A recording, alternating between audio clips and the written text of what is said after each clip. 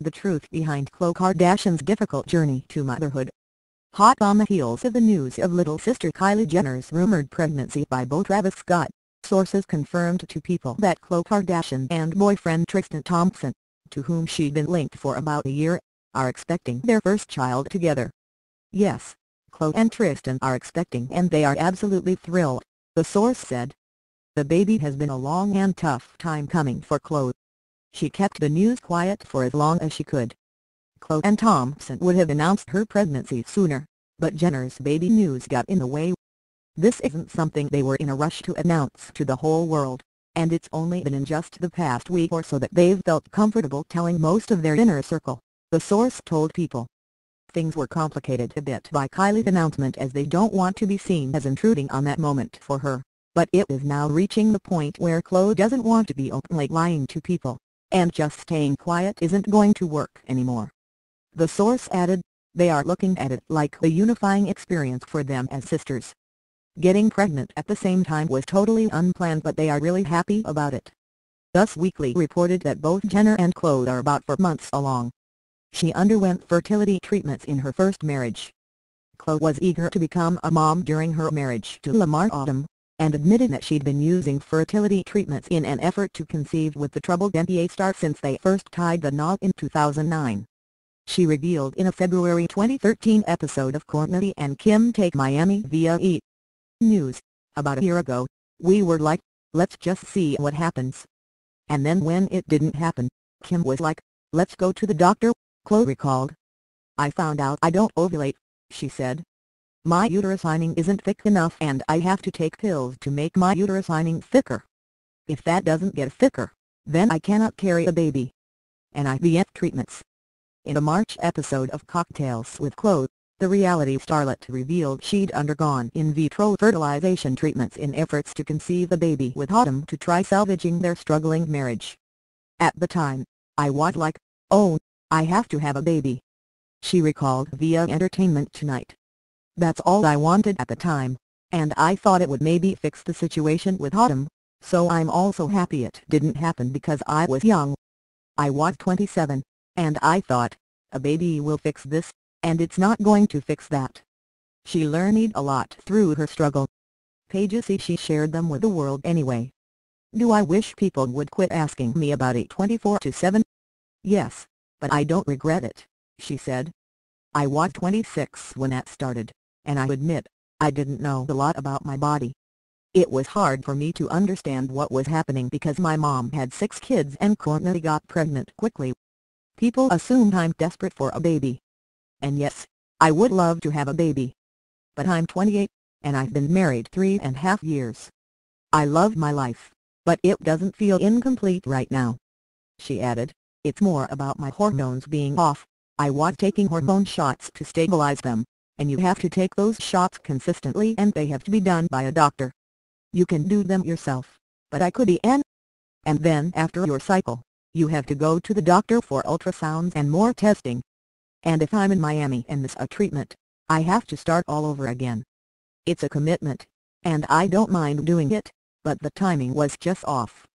Kourtney offered to be a surrogate for her, in a March 2013 episode of Kourtney and Kim Take Miami, Scott Disick was sympathetic to Khloe's plight and spoke to Kourtney about potentially being a surrogate for Khloe and Odom if they wanted.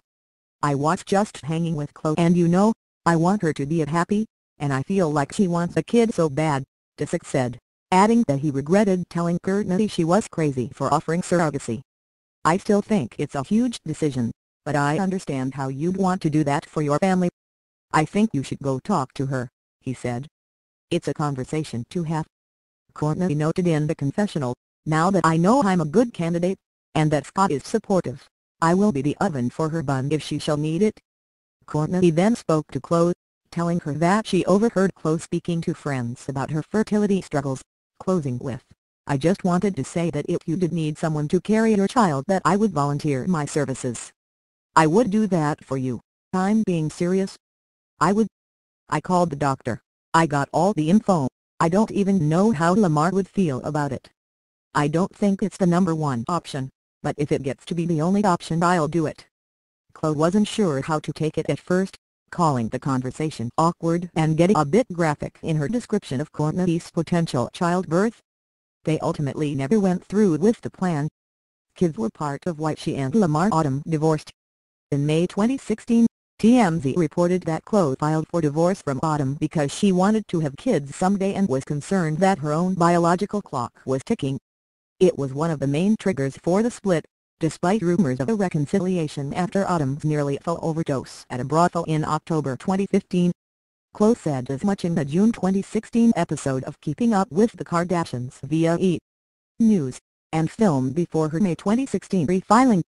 I love Lamar with all of my heart and I want the best for him, but now I feel I'm back to it being the hardest thing to do, she said. I want to have kids and maybe to be remarried one day. I need to move on, and I will be filing for divorce very soon. She changed her mind about treatments. In a June 2017 episode of Keeping Up with the Kardashians via E! News, Khloe admitted to her doctor that she fake tried to conceive during her marriage to Odom. I was married, but I knew the circumstances weren't the healthiest, so, I just kept pretending I was doing it, she confessed. In her confessional, she added, when I was doing my fertility treatments, they were more so for Lamar. I had to stop because there was much deeper stuff that was happening in our marriage. I knew that it wasn't the right situation to bring a child into, and I think I've done a lot of covering up for him, like even when it made me look like I was the problem but I was fine taking on that burden on my shoulders because he had a lot of other deeper S asterisk asterisk T to deal with. The deeper stuff likely refers to Odom's struggles with substance abuse and infidelity, which led to the end of the couple's marriage. She filed for divorce for the first time in December 2013. She battled false pregnancy rumors for a long time. Khloe suffered a ton of scrutiny over her weight through the years which contributed to a lot of false pregnancy rumors about her during her previous relationships. I feel like I've been pregnant for six years, she griped to People in 2014. I used to get offended, like, do I look fat today? Or why are they saying that? But they just say it. Before I was like, do I have a baby bump? Is my belly sticking out? But no. I mean, one day the rumor will be true, I hope, but who knows? Until then, it is what it is. She and Tristan Thompson were eager to breed early on.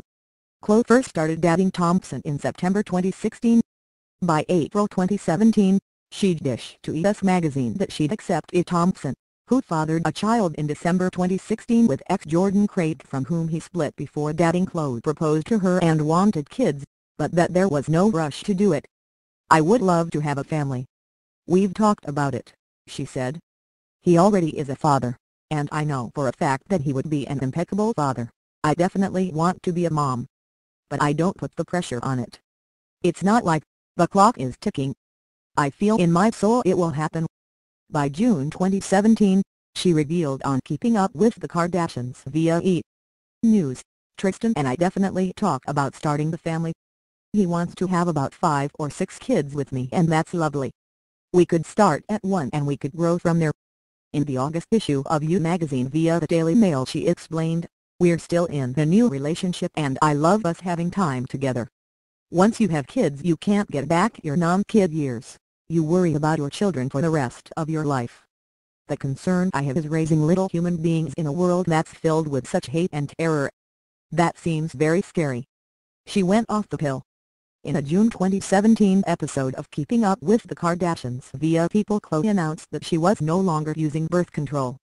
She revealed, I'm not on birth control is scary. It's like a really big step. She also noted that she'd undergone enough testing to know she could conceive. I am so relieved to know that I am able to get pregnant. Now I have so many other things to think about. Do I want to have my own baby now? I don't know. I'm at a crossroads. She felt Tristan Thompson was the only possible baby daddy for her. This is something Khloe has wanted for years and years, and yet it's more than that, she didn't want it unless she was in the right relationship for it, the source told People. She never let it happen with Lamar, intentionally, and she never considered it with James or French or anyone else she has seen. But this is such a wonderful moment for her, not only is she going to be a mother, she is going to be raising a child with a man she truly loves. Everyone is over the moon for them both.